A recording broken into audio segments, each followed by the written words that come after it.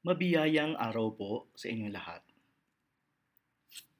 Ano kaya ang pakiramdam kapag ka hinugasan ka ng paa ng isang kaibigan mo?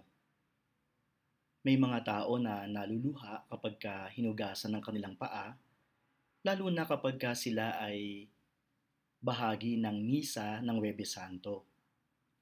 May mga nangangatog, merong nahihiya na ipakita ang kanilang kalyo, at siguro ganito rin ang pakiramdam ni Pedro noon. Madumi ang paa.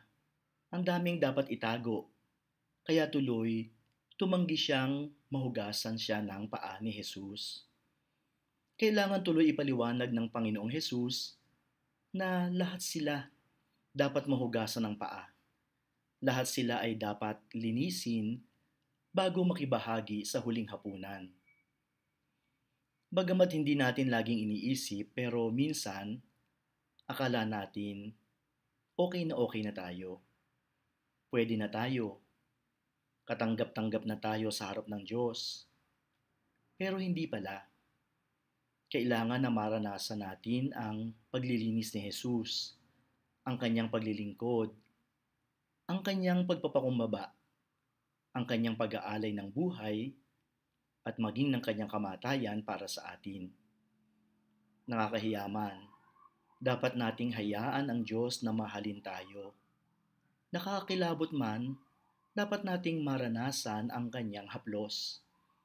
Nakakaiyak man, dapat nating maranasan na walang malinis sa harap ng Diyos kung hindi muna dadaan sa paglilinis ni Jesus ng ating mga paa, ng ating mga kasalanan, sa pamamagitan ng kanyang dugo sa krus. Ngayong Webes Santong ito, ipanalangin natin. Panginoon, puksain mo po sa akin ang virus ng pagmamalinis. Ipakita mo sa akin ang pangailangan ko sa iyong pagliligtas upang tunay akong magbago, tunay na maging mabuti, tunay na maging kaaya-aya sa mata mo at ng Ama. Amen. Sa gabing ito ng Webes Santo, ginagawa ang pagtatanod sa banal na sakramento hanggang alas 12 ng hating gabi. Dito rin ginagawa ng marami ang bisita iglesia. Dahil may mga tao na hindi makakaalis sa kanilang tahanan ngayon, maglaan tayo ng mahahalagang sandali sa harap ng ating altar sa bahay natin tahimik na magbasa ng Bible, magnilay, at makiisa sa sakripisyo ng Panginoon. Amen.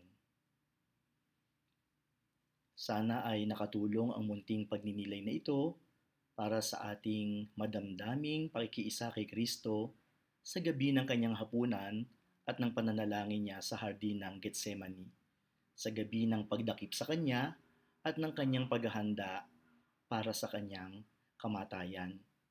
Kung ganun po ay like, subscribe, and share. Jesus love for others. Jesus love for all. Nawa ay pagpalain kayo at ingatan lagi ng Diyos, sampu ng inyong pamilya. Amen.